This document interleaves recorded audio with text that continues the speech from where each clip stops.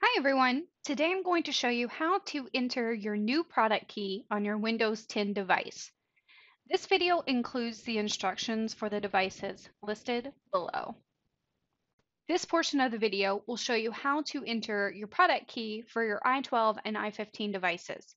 First, go ahead and tap on the icon on your desktop that is labeled Control Center. This icon is pink and white.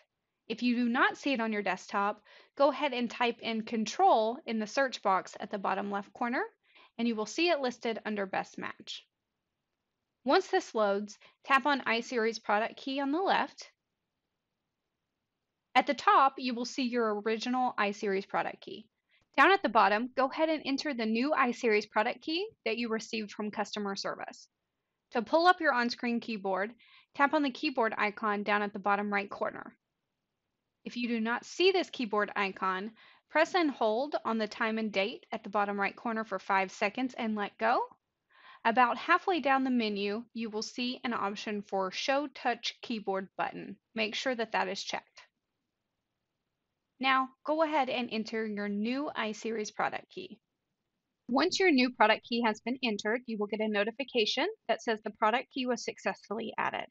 Go ahead and hit the X at the top right corner to close this window Tap on your Windows icon down at the bottom left corner, hit the power icon, and hit restart. Once the device restarts, you are finished. Now I'm going to show you how to enter your product key on an i13, i16, i110, Indi, Indi 7, EM12, and an iMobile Plus. First, go ahead and double tap on the Configuration Manager icon on your desktop. This is green and white. If you do not see this icon on your desktop, in the search box at the bottom left corner, type in config and you will see it on the list under best match.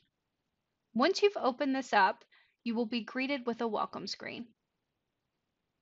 Next, you will see a green Get Started button. Go ahead and tap on that button.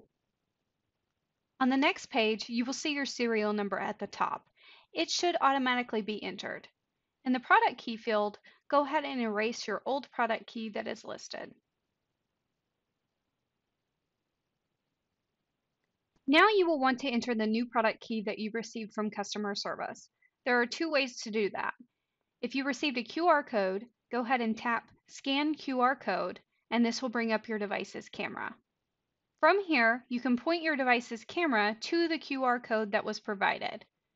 It should continue automatically once it is scanned.